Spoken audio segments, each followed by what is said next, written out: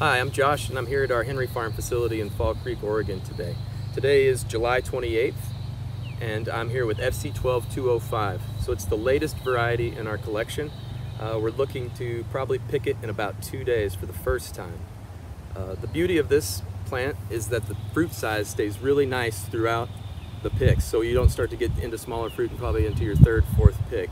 Roughly 18 millimeter size we've seen and that's an average of three years on the first pick and taking that average for that fruit size. Uh, it also is uh, resistant to shrivel and cracking and we believe that is because of the dense amount of foliage that we have on here. It ends up shading out the fruit and um, keeps it from shriveling and cracking like you've seen in some other varieties.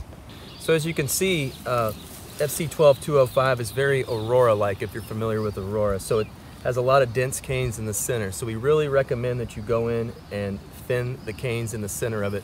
This will help with airflow inside of the plant and it'll also uh, push the fruit development to the outside of the plant for an easier harvest.